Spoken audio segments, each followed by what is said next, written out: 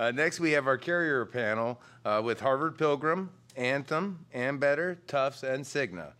We are fortunate to have uh, top leadership from each of the organizations. Um, the audience is going to have uh, an opportunity to ask questions as well.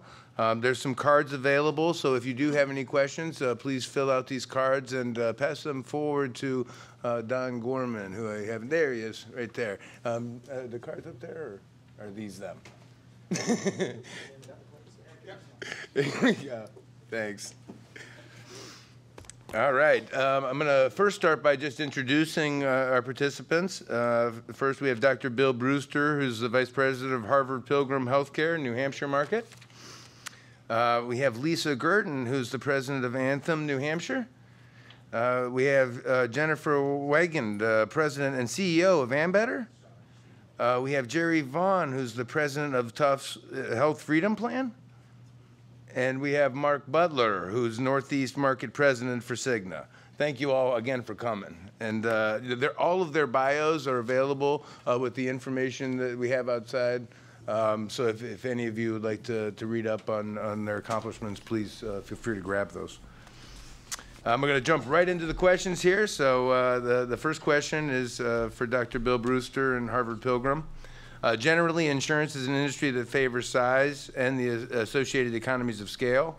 Compared to a large national carrier, it would seem as though Harvard Pilgrim is disadvantaged. Please describe your relationship with United Healthcare and how re uh, remaining as an independent regional carrier could result in lower costs overall. Thank you.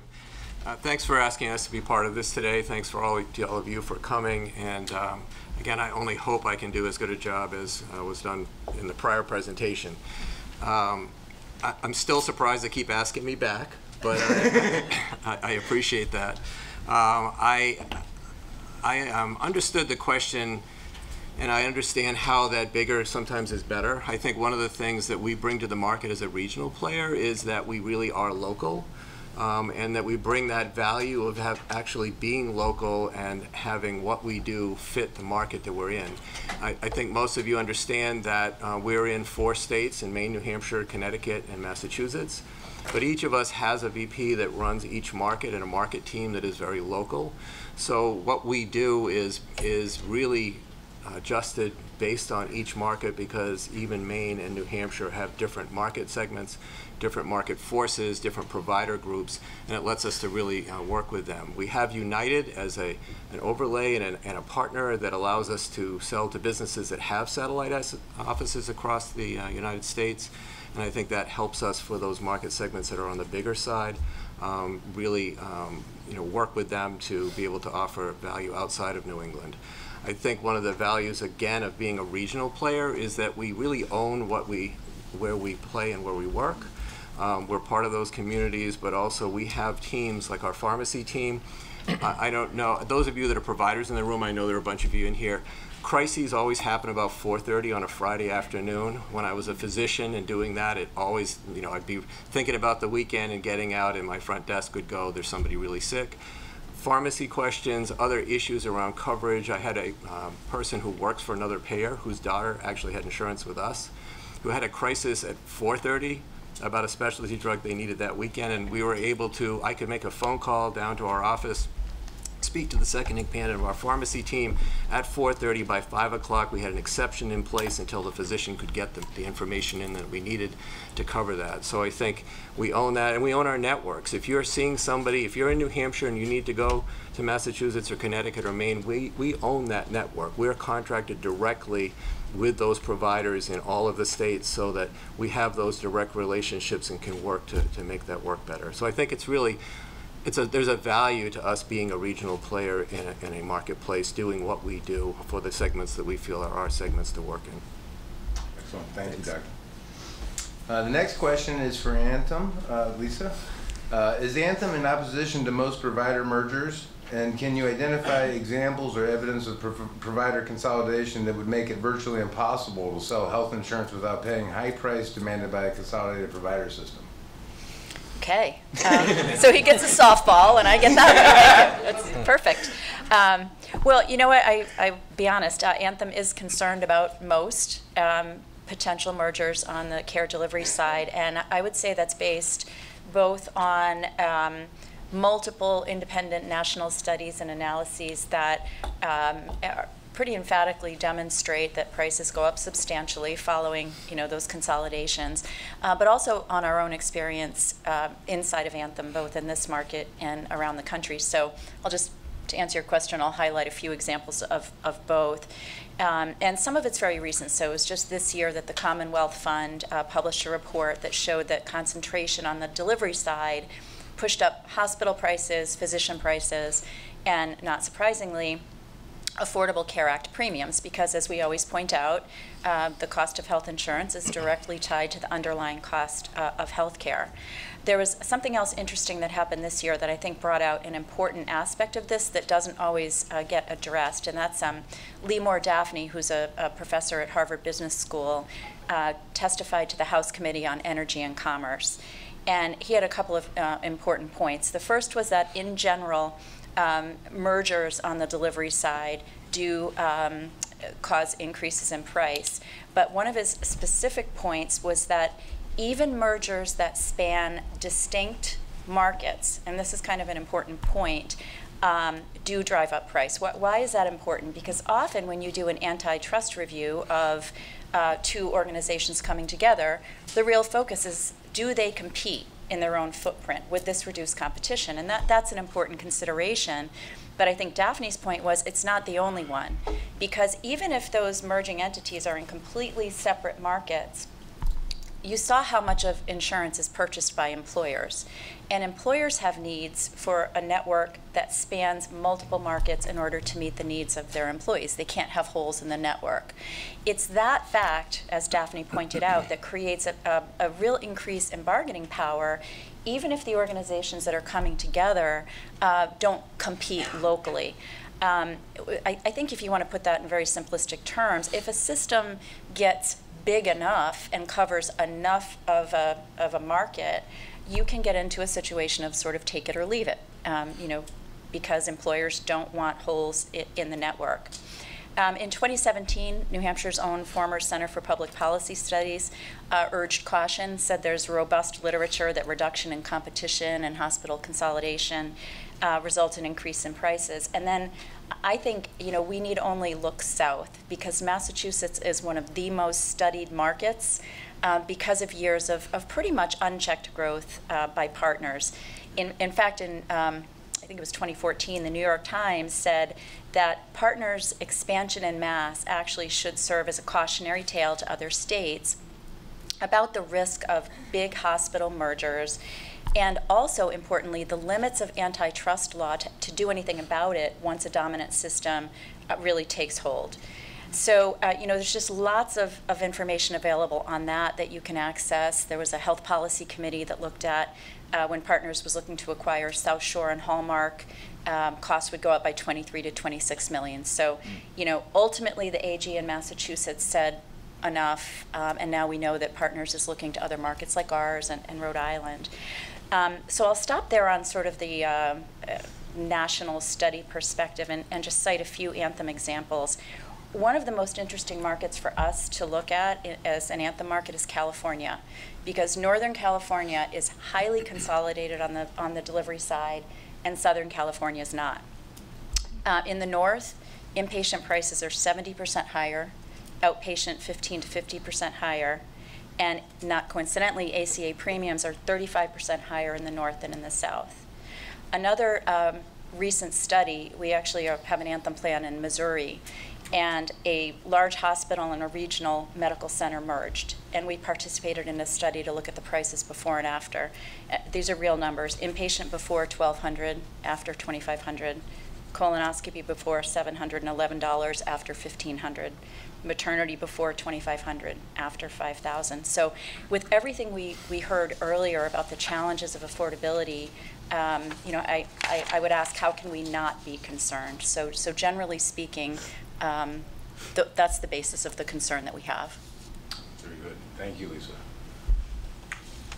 Uh, the next question we have is for Ambetter uh, Jennifer uh, Dartmouth Hitchcock is a large provider in the state with substantial integration how do your negotiations with Dartmouth Hitchcock differ from those with other providers? Great, and thank you again for having us here today. You know, I would say that from our perspective, each provider is unique. And while there are providers that range in size and scope and availability of services, we really take the opportunity to have that relationship with our providers individually. We've looked at over the past couple months and years, looking at the surge in behavioral health and substance use providers and the different types of modeling that we need to afford providers of that scale and size versus someone of the scale and size of Dartmouth. Clearly, a provider that provides a wide scope and service, multi regional presence, and then we're also looking at the evolution and integration of alternative payment models and how they can come together and meet providers where they are. Because an alternative payment model for Dartmouth may not be the same or effective alternative provi- uh, payment method for a smaller provider that's in the community. So we take all of those pieces and parts and really approach our providers with a consistent package and understanding what their drivers are, how do we improve overall health outcomes of our members, and align on a compensation and negotiation plan that works best for both parties. That's great, Jennifer, thank you. Uh, Next question is for Jerry and uh, Tufts. Have you faced unusual challenges from provider organizations that consider your relationship with the Granite Health providers favoring their com- competitors? And has that increased the price paid to those non-Granite Health providers? Thank you for that question and good morning. Um, I'm really happy to be here and part of the panel this morning. So I would say that that question has been asked of me as I've been making my way around the state since I started with Tufts Health Freedom Plan in June. And I would say that um, I'm happy to report that we have all 26 acute care hospitals um, in our provider network. I would say that our network matches our competition, and so I'm not at all concerned with network adequacy. That being said, I think the, the, the question is fair, um, and, and I would, I would speak a little bit to the, the unique arrangement that we have through Tufts Health Freedom Plan. I'm not sure if you're all aware of it, but it is a joint venture and it is a partnership between a well-established health plan out of Massachusetts, Tufts Health Plan, and then Granite Health, which is comprised of five hospital healthcare systems. And I think we have the unique opportunity to leverage that collaborative governance structure to really look at the marketplace and assess and understand exactly what the needs are for each one of the unique communities in, in New Hampshire. And I would say that we are, that the learning that we're obtaining through that, through this model is helping us understand how to, how we need to partner with providers across the state. Early signals are, are suggesting to me that there is strong support and engagement from providers across New Hampshire, and they truly see us as a viable option and a sustainable option.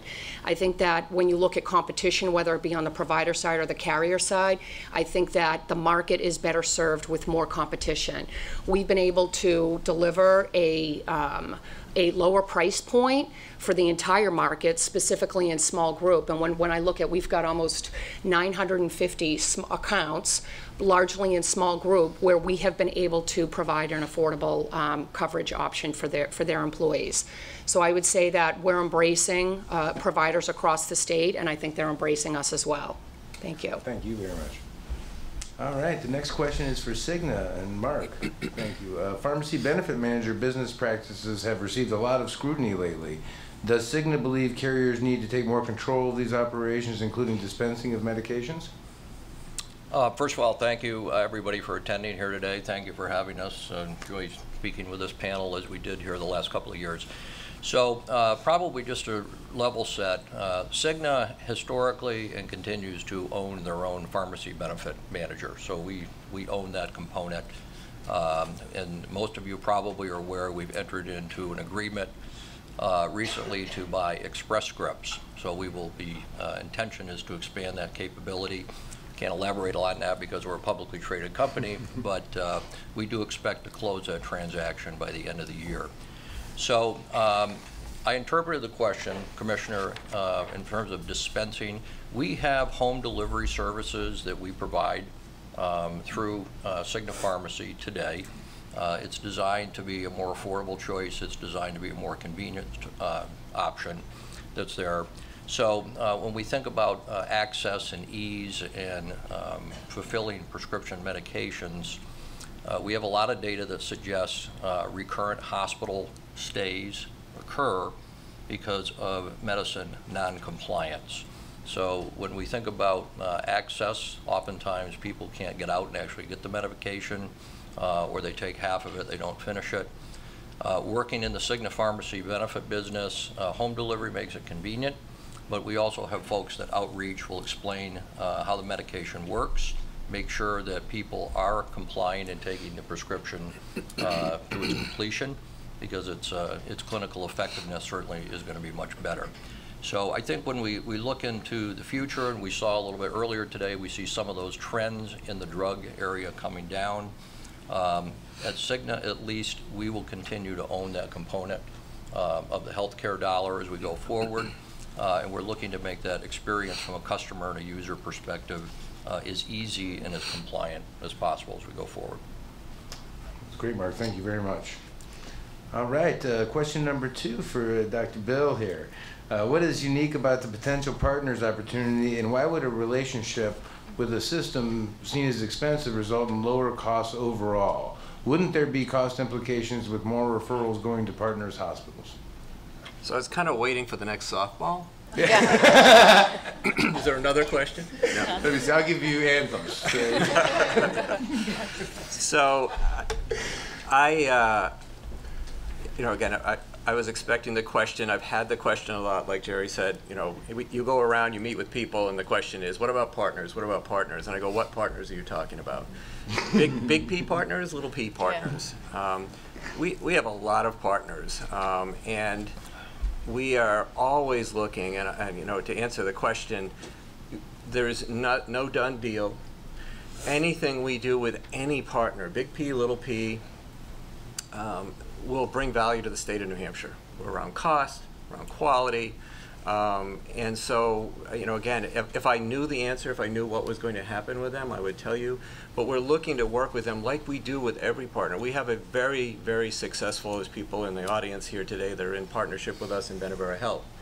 It has been driving down costs by any metric that you want to look at, whether it's readmits, ER visits, whatever. We do this across our membership.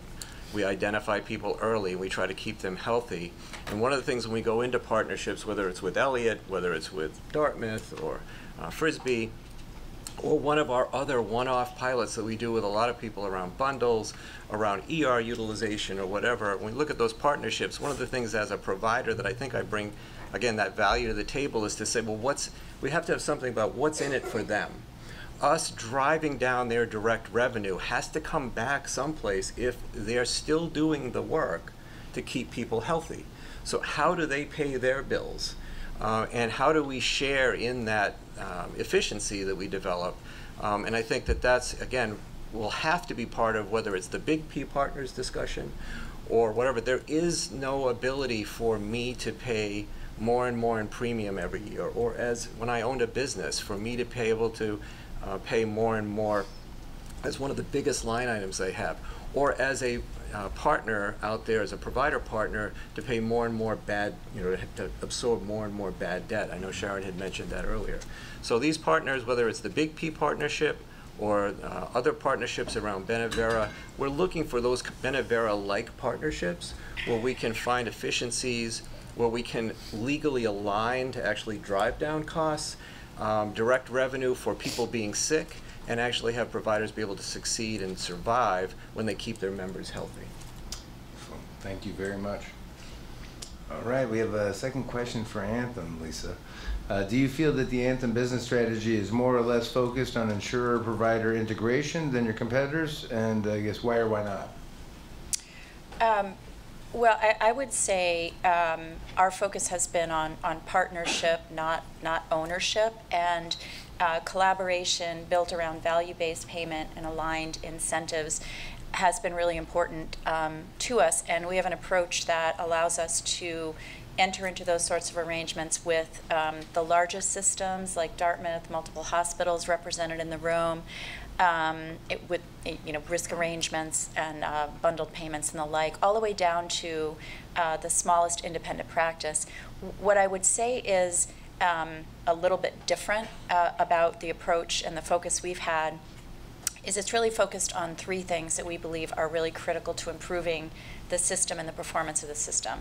Um, first being fortifying primary care, which has really gotten sort of de-emphasized and devalued over the years.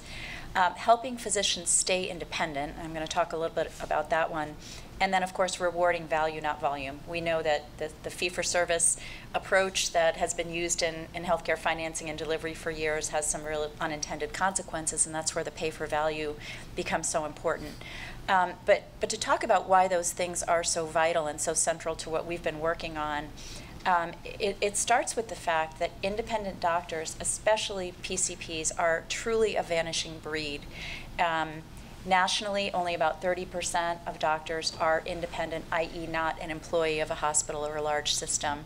And I'll, I'll guest in up at uh, Dartmouth Med School from time to time, and I'll sit with the students and I'll ask them, you know, where do you think you're going to practice when you get out? To a person, no one says they're going to be independent. They don't even think it's a viable option anymore. Um, I'm not going to hang out a shingle and go it alone. So um, this is a real issue. So so why why does it matter so much? Uh, MedPAC um, has has said that as hospital employment of physicians has grown. Um, services are migrating from office settings into hospital outpatient departments. Um, and the same thing was reported in the Journal of Medical Economics. So their statement was as, as PCPs become employees of a hospital, they're more likely to send tests and therapies and other services in house rather than to other resources. So, so sort of plainly stated, um, the system begins to contain or control those referrals, creating a bit of a closed funnel. I have to caveat this to say I understand that. I understand the pressures on the delivery side that make that something that they want to do. Um, and we're not sort of the enemy of those systems, but if you look at what happens to cost, um, the average uh, hospital-based price for those services, those migrating services, can be double or more compared to independent community-based options. So things like lab and imaging, colonoscopy therapies. Uh, there's variation in general, but there's variation by site. So JAMA reported that as a result of, of that, the average co total cost for a patient of an employed PCP is 10 to 90, 10 to 19 percent higher than the total cost for the patient of an independent PCP. Um, again, that, that's something that we can't ignore. So one of our focus areas has been trying to make being independent a viable option uh, by providing tools and, and support and information and frankly reimbursement to the primary care physicians that are independent so that that remains a viable option for those who, who choose to practice that way. I think that's probably the most differentiating aspect of what we've been focusing on. Very good. Thank you, Lisa. Uh, next question is uh, question two for Ambetter and Jennifer. Uh, does Ambetter believe the integration of payer and pharmacy dispensing has the potential in to increase drug costs or medical costs overall? Well, it's certainly a heightened topic of discussion as of late, both um, locally and nationally. And, and, certainly, you know, we believe, and I believe that integration and alignment from a pharmaceutical perspective with the health plan and health insurance industry can only improve total cost of care. So as Mark had alluded to earlier with the experience at Cigna, when we look at drug cost and we look at the blockbuster drugs coming out, and Hep C as example, Dr. Brewster and I were talking about that a, a little earlier today, and the migration and evolution of how Hep C has changed just over the last 18 months with new medications coming out. You know, having greater alignment between pharmaceutical and PBM services and health plan can only improve that total cost of care as we all work together to improve health outcomes. I think often too that from a pharmacy perspective that that is often for us potentially the first time we interact with a new member. So they're going while we're trying to outreach to them to welcome them to our health plan or orient them to services, they're accessing pharmacy services. So any alignment that we can do and build upon what we have today will improve those health outcomes and allow us to contribute even in a more efficient way. In addition to that, we're seeing a lot of great success with integration of medication therapy management programs, gaps in care, looking for opportunities to interact with folks as they fill or stop filling medications. What does that do to ED utilization, inpatient utilization, and outpatient utilization? And those drivers presented earlier by Jen and her team. So we think there's great opportunity to improve total cost of care, and that's really what we're focused on. Excellent. Thank you very much. All right, Cigna has uh, the gold star two questions in a row here. So we'll start with uh, this first one, Mark. Thank you. Cigna was quoted in a recent uh, Wall Street Journal article describing negotiation strategies by large hospital delivery systems that prevented carriers from developing limited networks. Can you discuss this problem and how provider consolidation could make it worse? So there's a lot in that question, um, and I think philosophically, uh, staying with the quote that we, we did make in the journal is that uh, what we believe in is we don't believe any significant system should be able to limit competition or uh, drive pricing. Having said that, um, I think the panel's touched on a number of areas.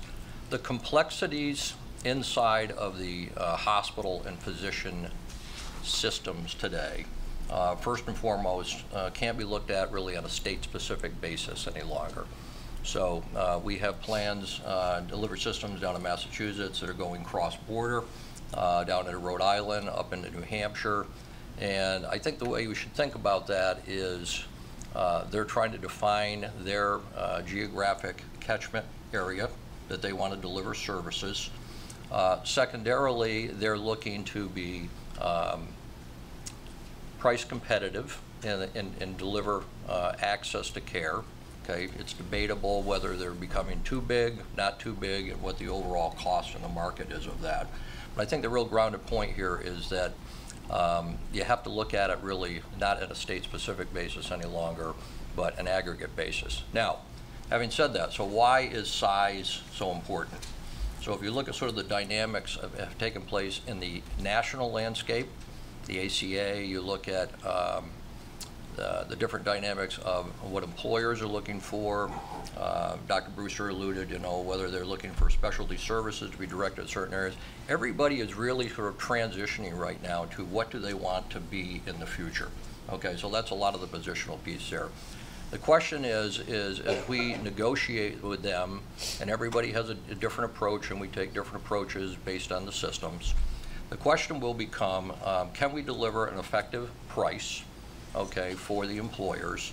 Number two, and I will uh, uh, talk about this very frequently, the employers are ultimately going to determine how much they're going to pay for what. If you look at New England right now, we still are uh, largely an area that everybody wants every doctor, every hospital in.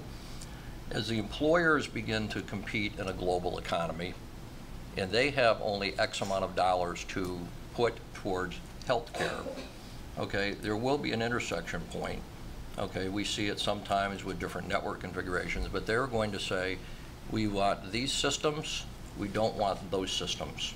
That will be the future at some point. We are not there yet.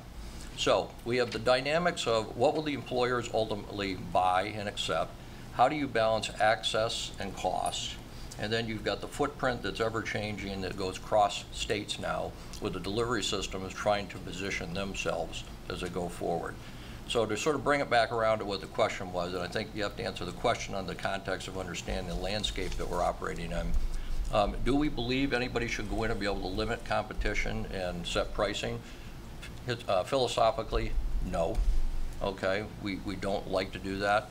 We believe, I think similar to other folks on the panel here, that uh, competitiveness should be driven by delivering high value, okay, competitive cost, and be based on really a, a value-based delivery uh, payment model. Very good, thank you, Mark. Um, and then uh, the question three, assuming uh, you believe provider consolidation can drive up prices, do you pay the largest delivery systems the most for similar services?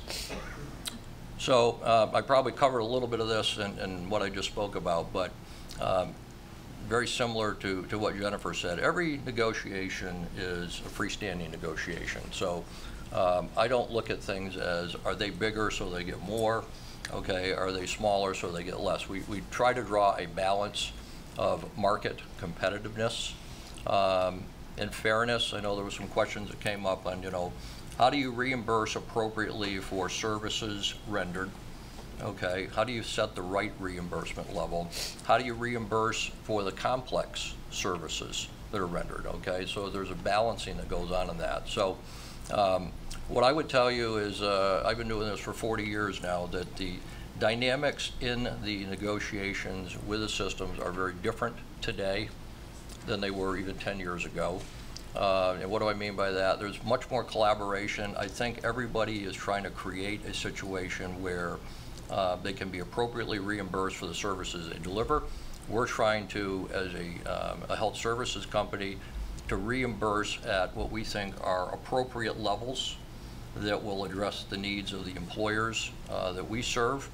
And I think we're sort of in a changing world right now. We're moving away from fee-for-service. We're moving into more value-based arrangements. Um, That puts a lot of strain on both sides of the system. But uh, I think we're making progress, sir. Excellent. Thank you very much, Mark. And uh, I think I uh, passed over one question that I'm going to come back to for Tufts and Jerry. Um, What kind of provider consolidation usually drives cost, price, or utilization the most, vertical or horizontal? And if you can, uh, some examples. So I, I would say it, it really depends, and to um, tee off a little bit what Lisa shared, I think historically, there haven't been many data points that would suggest that uh, provider consolidation and horizontal integration has really brought costs down. I think that if you look at market to market, um, there's enough data that would suggest it, it's actually going the other way. As uh, providers uh, affiliate, merge, and acquire, I think that uh, there is a, a pressure to raise cost as a result of it, uh, as a result of it, because typically these newly acquired providers fall under the, the existing contracts that are in place with those systems. Um, so I would say that I, I- I don't see many examples where we, where we've seen that cost has gone down. When I think about vertical integration, although let me just say this, I think lab may be an example, I was thinking about this question last night, where if you look at lab and you look at, um, and, and I think it's similar market to market, you've got LabCorp and you have Quest, who have been able to acquire very small independent um, clinical labs. And as a result of that, they've now got massive scale that they can produce a product that is really a commodity at that point. And as a result of that, they have driven costs down. Um, they've been able to leverage their technology and their, um, their operational efficiencies to be able to offer um, a lower price point to the marketplace. So I would say that that would be an example um, of where, where price has gone down or as a result of integration. When I think about vertical integration, and I think um, a couple of my panelists have also shared this, it- providers are um, challenged with the reimbursement models that are changing um, dramatically. And I think while we're all talking about the shift to value, the underlying payment structure is not set up that way yet. And so in order to um, achieve value across a continuum. You have providers that are acquiring DME and home health and skilled nursing. And I think the result of this is going to take years for us to probably see any type of um, cost efficiencies. But the goal is really to uh, develop value across a continuum and be able to control that. When you think about, uh, on the provider side, what drives cost is IT. Many health systems across the country are, are now, they all have, interoperability was the buzzword about three to five years ago. And I think most of them are moving to Epic or Cerner, that's the Coke and Pepsi in the EMR world, and that's considerable, um, uh, that's a huge cost structure that needs to be accounted for. And they need to do that to be able to support a new model of care and transform um, the delivery system because the old system and the existing system is really still siloed based on a fee-for-service uh, reimbursement platform. That's great. Thank you very much, Jerry. Uh, So those are all the questions that uh, we had as a department. Uh, Did anybody pass any questions down to Donna? Excellent. Oh, yeah.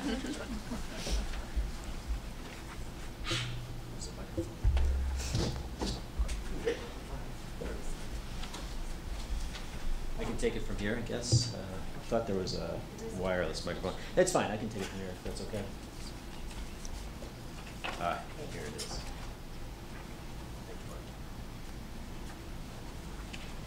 Okay, so I did receive a few questions here. Um, the first one talks about, you know, you guys have all talking about provider consolidation. This question is specifically about uh, mergers of insurance companies, and they point out that the Department of Justice over the last few years has successfully sued to stop anti-competitive mergers between four of the five largest insurance companies. The questioner also goes on to cite a health affairs article that's that uh, I'm not I haven't fact checked this at all, but basically they say that um, health insurance carrier consolidation has been more of a driver in terms of premium uh, increases than providers. So, and they ask that each of the panelists discuss that. Who's first? I'll, I'll start it off. So, um,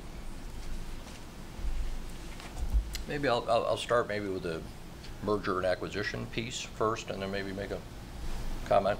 So um, I think when you look at the market, and I, I think um, Jerry just said it best here. So you have a system that exists today uh, that historically was done one way, okay? And, and I'm talking about the delivery side right now. Uh, there's huge investments that they're making to uh, reinvent how they do business, how they align philosophies inside of the physician panels that are in those delivery systems, and then we've talked about really sort of geographic expansion. Um, None of that comes easy, none of that comes uh, inexpensively. So if you look at the payer side, and I'll speak specifically to Cigna, um, as we move into value-based reimbursement arrangements, as we sort of continue to support traditional fee-for-service arrangements, as we see the demographics begin to shift on employers, and I, I use this uh, statement, by uh, 10 years from now, 80% of the labor force will be millennials.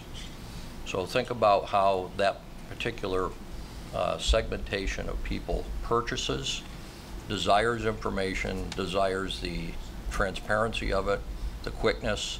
They want it delivered through a handheld. So when we think about the business that we're in, um, it's a very complicated business in its simplest form, both for the physician partners and for the um, uh, companies like Cigna to continue to evolve and provide services, infrastructure, support for what is going to be needed in this business five years, 10 years from now. Now, that could be, again, back to how we reimburse providers, how we send information out.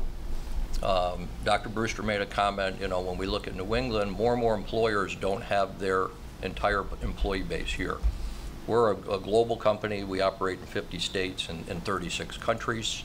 Um, we have to be able to deliver services on a platform and an infrastructure that can service all of those individuals. So, as we sort of look at, um, you know, premiums charged, reinvestment of that capital, there's tremendous support structures that go into that and will continue to go into that as we sort of work and evolve with the, with the delivery systems and really what the consumers of tomorrow will want.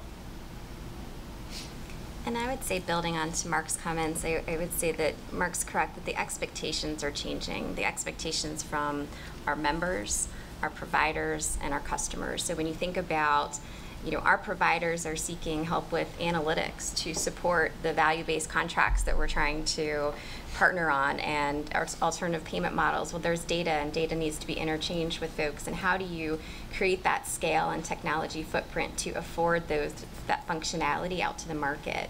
Members, to Mark's point, are expecting a more mobile experience. So infrastructure and technology that's needed to support those activities and from a customer perspective, whether that's the customer is the state or an employer group, their expectations and the games are, are increasing, right? So we need to invest and have scale, and I think that part of the consolidation we're seeing in the industry is, is aligning around the ability to have that scale reinvestment in tools and technology and analytics to help to support total cost of care and health outcomes. So I'm just going to jump in quickly also, and I, I would agree with both the prior speakers, but um, one of the things that I think we've really looked at is that we've really thought of ways to have it not be us and them, so it isn't just uh, providers um, getting bigger and bigger or payers getting bigger and bigger, um, but we've really tried to, again, integrate so that it's not, uh, it's not them or us, it's us together. Um, I think the other thing that we've thought of and continue to think of is um, diversification across different market segments. So uh, I think about 10 years ago or so, we acquired Health Plans uh, Inc., or HPI, which does a lot of our self-insured business, we, um, and MedWatch, which is a care management company, TrestleTree, which is a counseling and coaching uh, team, and um, again, for size, I mean, I think people think of us as little. We cover almost 1.3 million lives um, uh, in our Harvard Pilgrim business, but with all of our other subsidiaries across a diverse market uh, segment and different product lines, uh, we cover over 3 million, touch 3 million people in the States. So um, again, I think that's been our plan as far as um, growing across the years. I would say to add comment to that as well, you know, I think insurance carriers are like other um, industries in that we, you know, the cost of technology to be able to be nimble and responsive to market needs um, is, is been dramatic over the last couple of years. And I think that um, in order for carriers to be able to compete and offer product uh, to the marketplace, scale and operational efficiencies are equally important on the carrier side. I think for, for Tufts Health Freedom Plan, some of the examples where we've tried to be um, creative and innovative are the relationship and partnership that we have with the Granite Health Systems, uh, as well as Northeast Delta Dental. You know, where, where we are responding to market needs and market demands. That said, I think that um, as, as carriers consolidate and some of these mergers and acquisitions continue to take hold, I think it's, um, it is, it's, it's concerning for a smaller carrier uh, like Tufts Health Freedom Plan to be able to uh, compete around some of those operational efficiencies that are being gained by that. So I would say that, you know, it's important for us to be able to be responsive to the marketplace, uh, embrace and engage with our providers, and offer a price point that is attractive and sustainable. So to bring up the caboose, um, I will, I will say that um, I, I understand the pressures um, that exist throughout healthcare financing and delivery. I, there, I don't believe there's a, there's a bad guy here. Each participant in the system is looking at what do I need to do in this incredibly pressured environment, and the pressure comes from the affordability and what we just saw.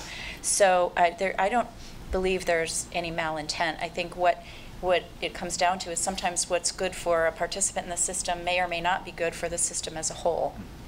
In general, I think that the big horizontal mergers, especially when you're talking about big players like an Anthem and a Cigna, get an awful lot of attention. They just do.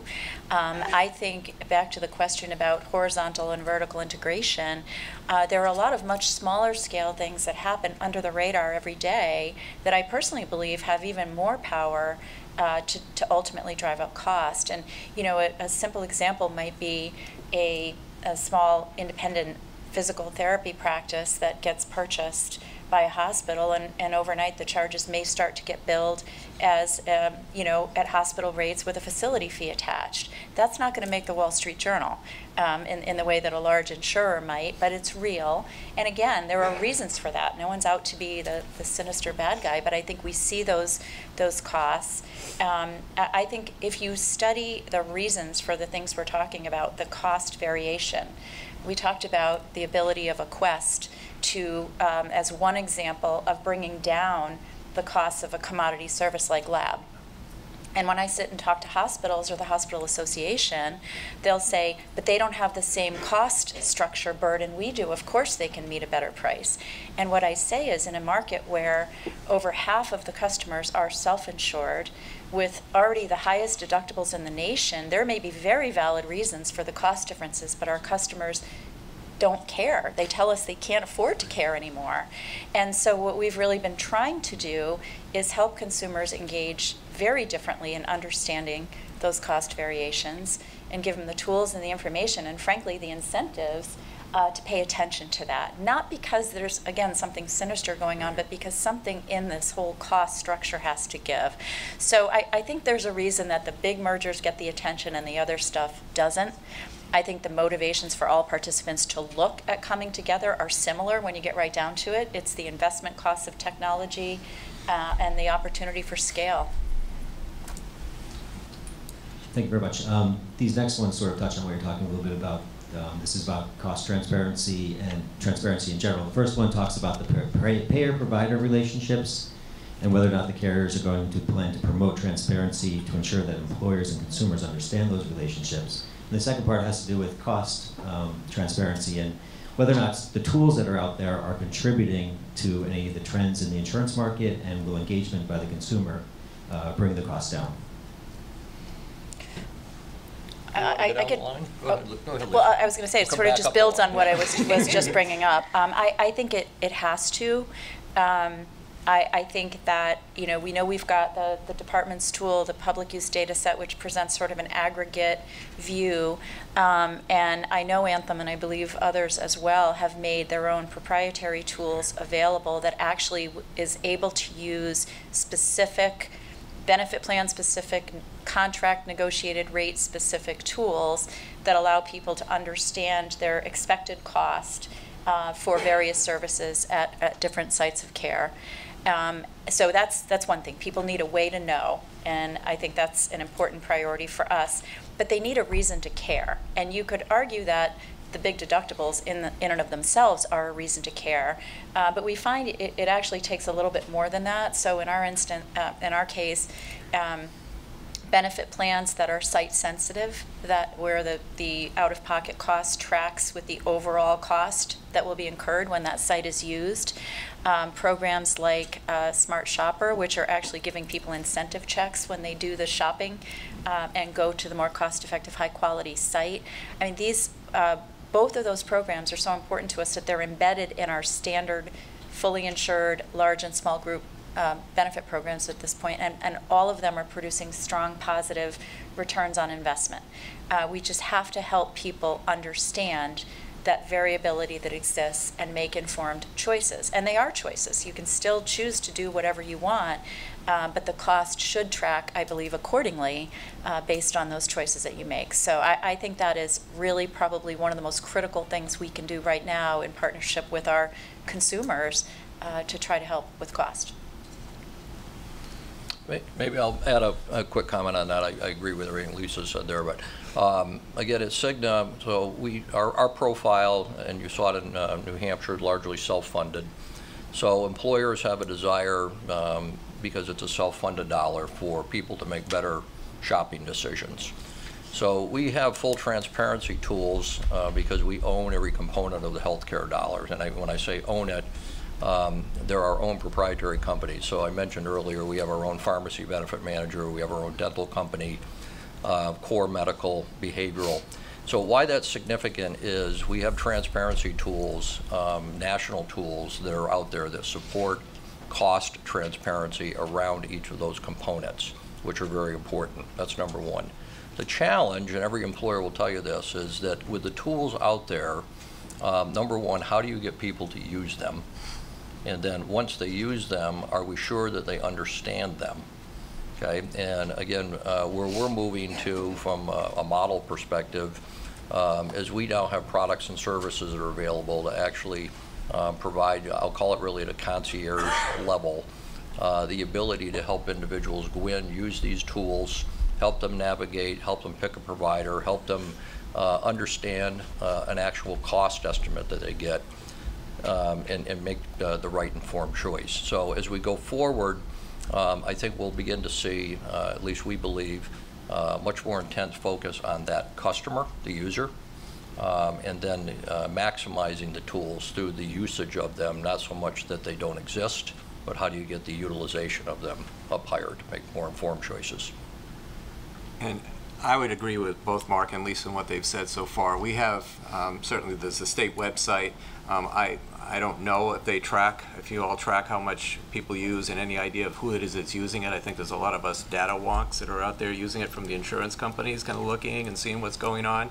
But again, for a day-to-day -day person in my life, I'm not sitting around going, I'm bored and I need something to do. Let me go on a website and uh, check things. And often I'm listening to my doc and, uh, and it sounds like peanuts and wah, wah, wah. You know, even though I'm a physician, now they've said I have something and I have to go get some tests done and here's where you go. So um, we do have something called Reduce My Costs. It's, again, very, it's incents people to actually go uh, to some place that might be less expensive.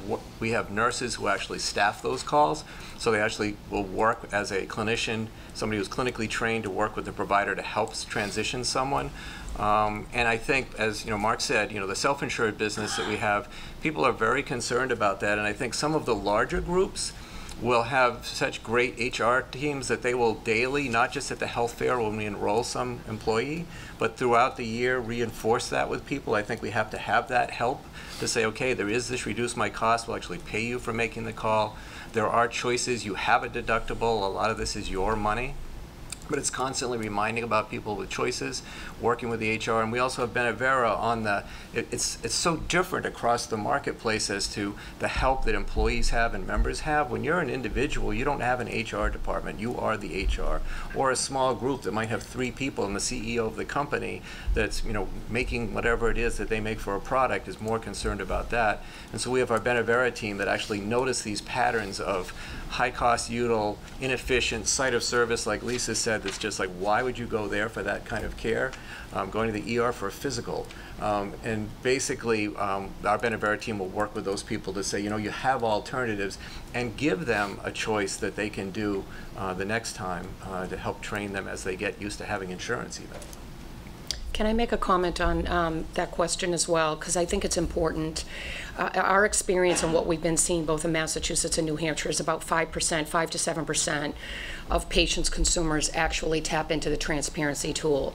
And I think what's unique about healthcare is that um, when consumers or patients are shopping for a product or a service, it's not in isolation, and I think we need to be careful with what could be an unintended consequence of, of transparency. Hopefully, transparency will drive costs down, and that the market will be competitive, and providers will actually see what their price point is relative to their peer group or their competition. That would be the ultimate goal.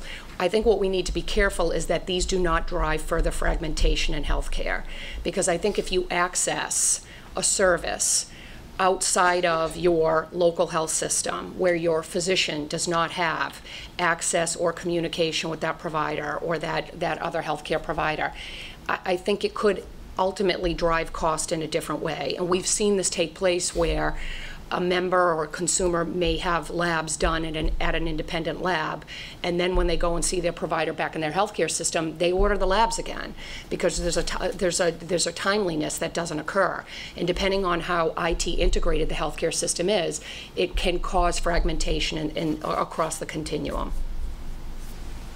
And I think just to close that one out, not to repeat anything that anyone already said, but I think member engagement is critical, and we've talked about that. I think the other piece of it too is really leveraging our value-based contracts to push transparency to our providers as well.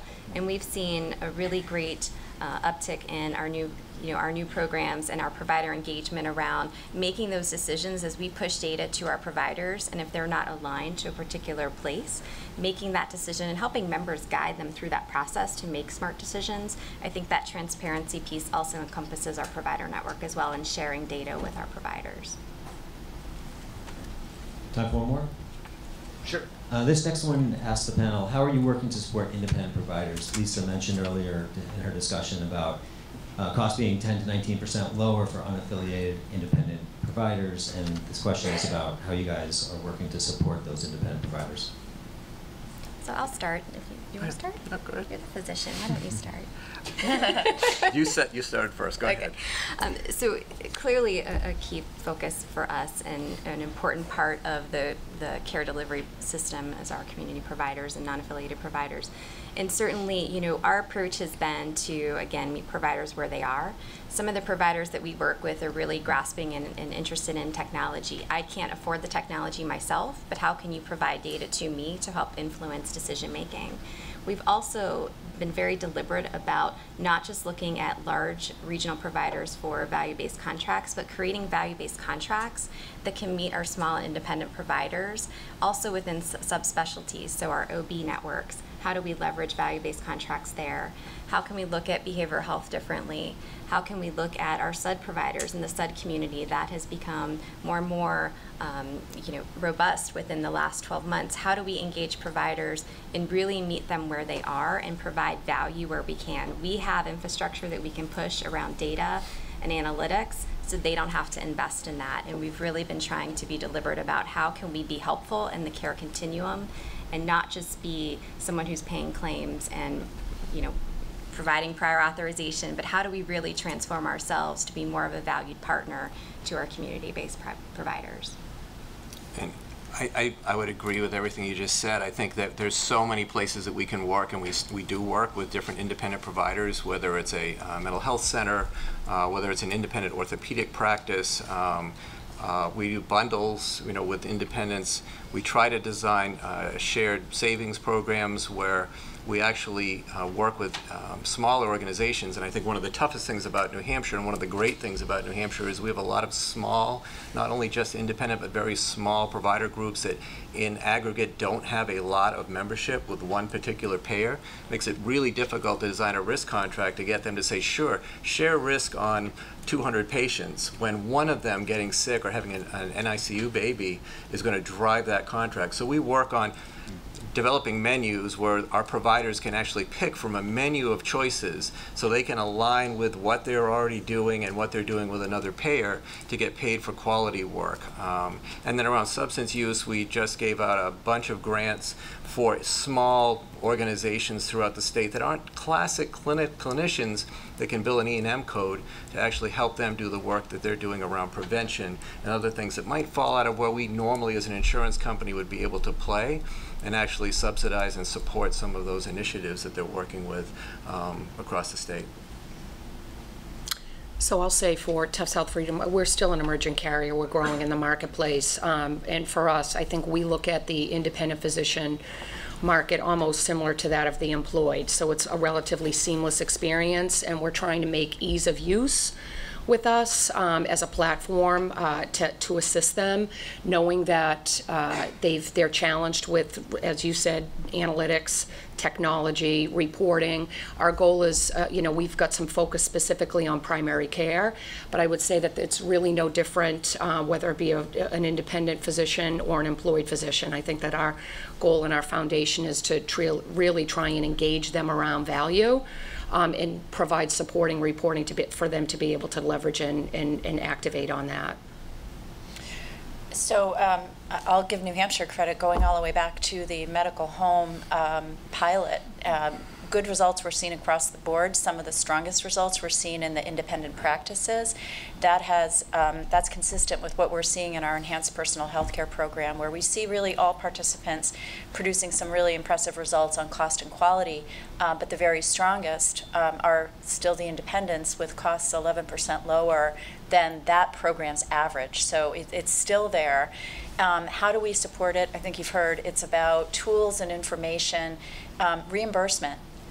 One of the most important things is decoupling um, reimbursement from that ti 15 minutes when you're seeing a patient uh, in, in your office, which, uh, you know, you don't stop to think about, but that was really the only reimbursable event in a practice previously. And so now, with a monthly care management fee, completely decoupled from that, we're allowing smaller practices to have a new stream of revenue to invest in the things they need to to do that total care management. Um, and also giving them more insights and tools into uh, what's going on with their patient population so that they can do a better job and be successful in those value-based arrangements. I'd make just one closing comment, um, because I agree with everything. I, I think when you listen to the panel, uh, there's a couple things that I, I think are very clear. A, there's a lot of listening going on on the carrier side of things. So, uh, and two, it's a very complex business. Okay, so you, you heard about some of the challenges of trying to do value-based reimbursement with a, with a small uh, physician practice. Okay, challenge. Um, so, from Cigna's perspective, uh, we're doing a lot of the work that uh, takes place on the analytics side. Uh, we have 240 collaborative arrangements nationally. We have 30 collaborative arrangements inside of New England. Uh, we have nine of those that exist inside of New Hampshire. They're anywhere from large systems to independent physician collaboratives. There's some very creative work uh, we're getting involved with over in the state of Vermont um, that I think potentially has some uh, cachet that carry over into other states in New England. Point really being is that as you think about sharing analytics, you're sharing data, uh, the goal really is to drive the lowest trends that we can possibly drive from a total medical cost management. And I'll underscore there, when we think about cost, and we think about cost of the future, think about it in terms of total medical cost. That's how a patient consumes, it's how they pick their place to go. Um, it's working with providers to really reimburse them based on value, affordability, and quality. So I think, um, again, as we listen to the panel, um, I hope you can sense that there's a lot going on in the space. It's complex, uh, but there's a lot of good work being done across the board. Well, thank you, Don, and uh, I want to thank all the panelists for participating.